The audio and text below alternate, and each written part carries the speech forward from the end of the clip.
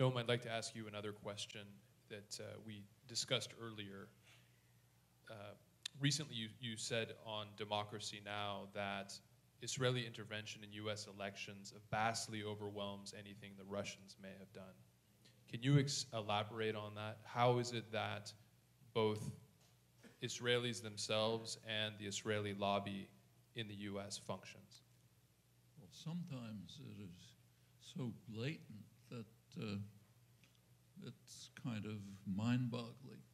So you may recall that uh, the prime minister of Israel, Benjamin Netanyahu, uh, showed up uh, at the invitation of some right wing members of Congress uh, to, to deliver an address uh, to the joint session of Congress without notifying the White House, even, in which he condemned, he used his address to condemn Obama's uh, policies, uh, mainly with regard to Iran.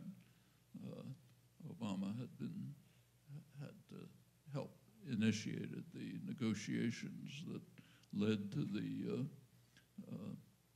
joint program, the Iran nuclear deal, and, this is anathema to Netanyahu, wants the U.S. to support an attack on Iran. So here's a prime minister of another country showing up in Congress, uh, ignoring, completely ignoring the state executive, the White House, and telling them, uh, we've got to, you, you guys have got to completely reverse his policy. It's, it's almost impossible to think of a, uh, a form of intervention in the legislative process that exceeds this. And this is only a very small part of it.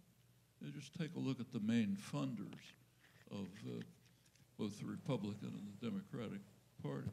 Uh, the Republican Party, it's uh, people like Sheldon Adelson, tens of millions of dollars, uh, ultra-right, uh, a supporter of the ultra-right Israeli uh, nationalism settlement programs.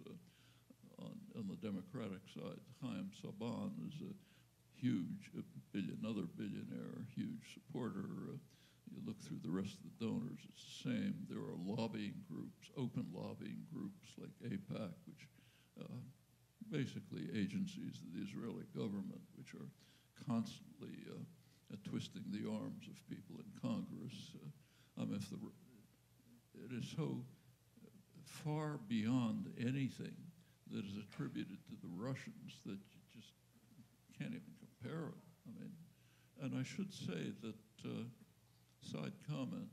Uh, when we're considering the intervention in our pristine democratic process, it's worth bearing in mind that even the Israeli intervention, which is far beyond any other country, is minuscule as compared with the corruption of the political process by simply funding of candidates. Now, this is not just since Citizens United that opened the faucet a little wider, but it goes back over a century. You go back to 1895. Uh, there was a great famous campaign manager, Mark Hanna, uh, was asked once, uh, what are the important things to, that you need for a political campaign? And he said, uh, the first thing is money, and the second thing is money. And I've forgotten what the third is. That was the 1890s.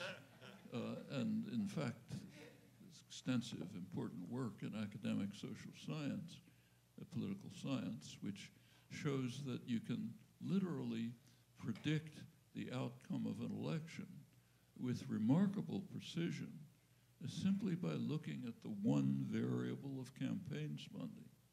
That's both for president and for Congress, and it runs through the 2016 campaign, incidentally.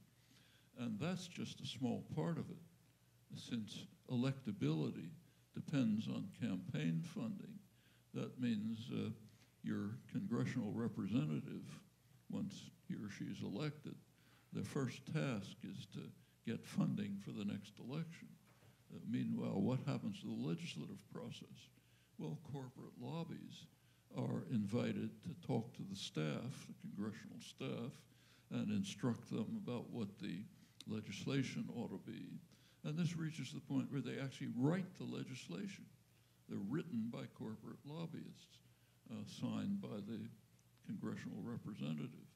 Uh, this is one reason why uh, other work demonstrates that about about 70% of the voting population, the lower 70% on the income scale, are completely disenfranchised, literally, in the sense that their own representatives pay absolutely no attention to their opinions. They're listening to the donor class. Uh, you know, talking about interference in the elections in a system like this is of uh, ludicrous in the first place.